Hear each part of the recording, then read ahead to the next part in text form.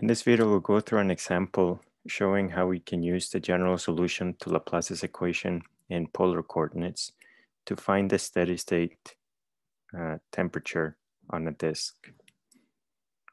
So we're considering a circular disk of radius A, which is heated in such a way that the temperature along its perimeter, so when R is equal to A, has the following form, where A and B are constants to be determined. And we want to find the steady state temperature everywhere inside of this disk. And we're using Laplace's equation because we want the steady state temperature, so there's no time dependence. And in the last video, we have found the general form of the solution to uh, Laplace's equation in polar coordinates which has the following form.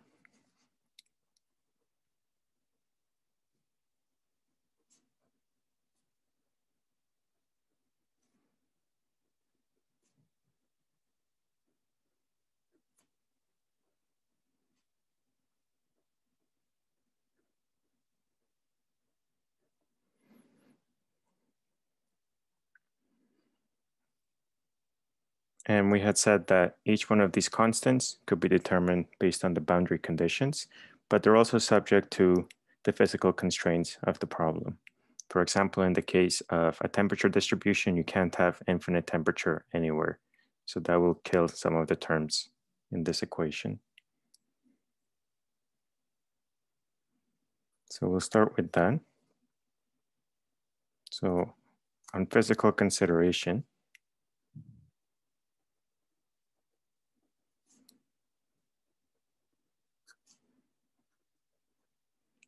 we can't have an infinite temperature anywhere. And because we're considering a disk like this, where this is just some coordinate system, uh, and we're looking for the temperature for R smaller than A, that includes the, uh, the origin as a possible value for R. And that would mean that this term over here would blow up. This would tend to infinity as the radius tends to zero. And likewise, this term over here would also blow up in that limit. So we have that all of the dn over here for n greater than or equal to one, so only inside the sum, they have to be equal to zero to stop the temperature from blowing up at the origin. We also need this constant C naught to equal to zero to again prevent the temperature from blowing up at the origin.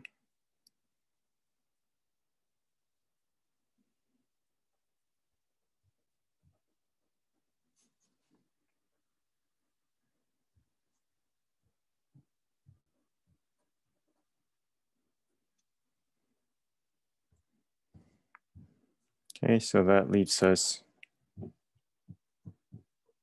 with fewer constants to determine.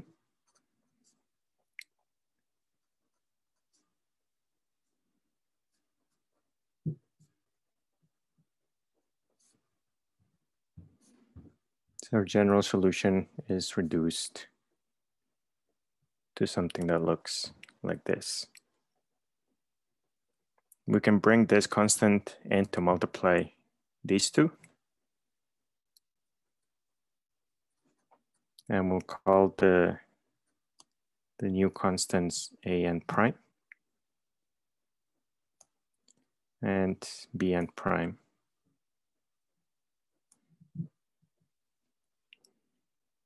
Okay, so we've just multiplied this out into the constants.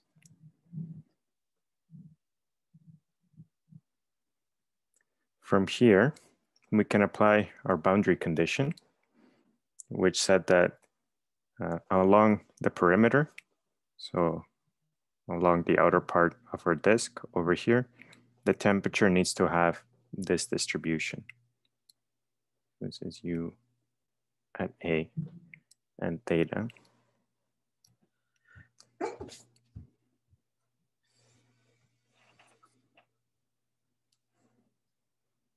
So applying our boundary condition, we have that u a theta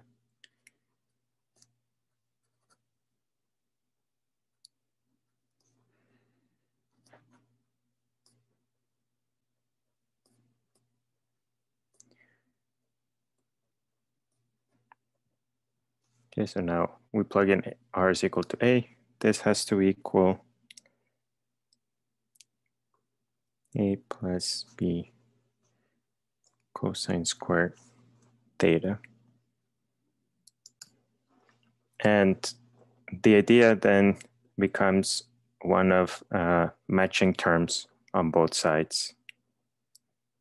But we don't have anything that depends on the square of a trigonometric function on this side. So we're going to rewrite this as a plus b and uh, replace cosine squared theta by 1 plus cosine 2 theta over 2. So matching terms over here with those over here. There are no sine and thetas anywhere in this expression.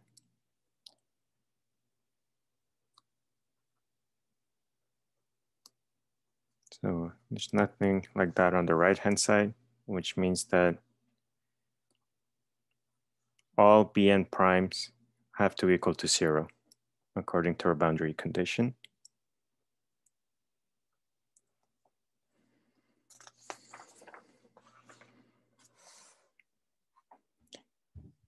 And that leaves us the following expression at our boundary.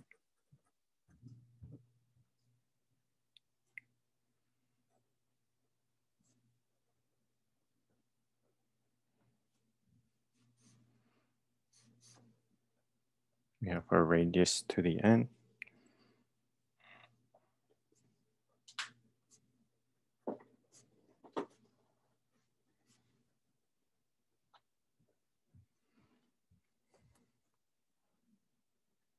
So this is the condition we have to satisfy now. And our job then is to match the constants a and b with the constants d naught and a n prime. And you can see that uh, the only term over here that doesn't depend on cosine is d naught. So that should match all of our constants over here, which also don't depend on cosine.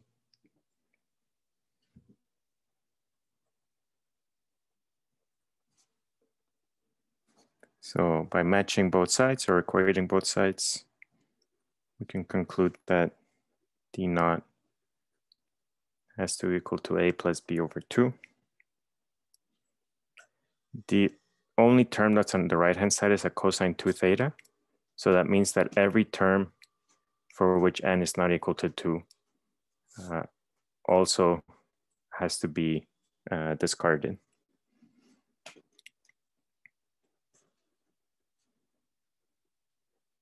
Okay, so all a n primes for n not equal to 2 have to be equal to 0 to be able to satisfy our boundary condition.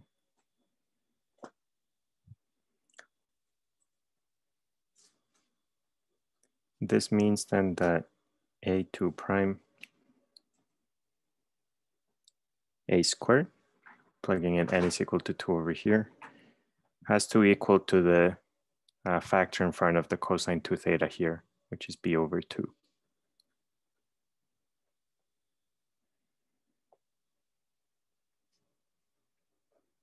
And from here, we can conclude that a2 prime has to equal to b over a squared. Okay, so having found all of our constants in our general solution, this one over here, which satisfy the boundary conditions, we can conclude that the heat distribution in our disk, inside of the disk, has to have the following form.